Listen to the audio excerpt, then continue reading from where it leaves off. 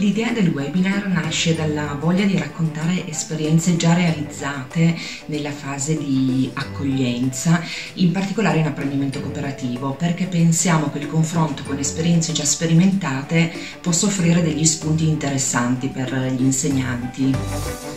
Partiremo da una carrellata di esperienze eh, sperimentate, focalizzandoci su alcuni momenti di lavoro.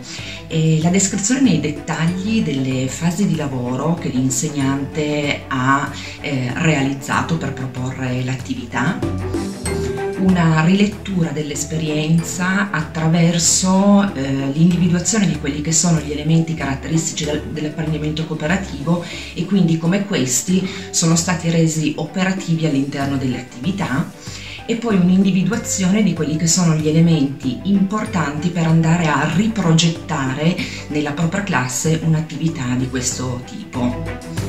Lavoreremo con una modalità il più possibile partecipativa in modo da costruire insieme nuova conoscenza ed esperienza per gestire il momento dell'accoglienza a partire dai primi giorni di scuola. Vi aspetto al webinar.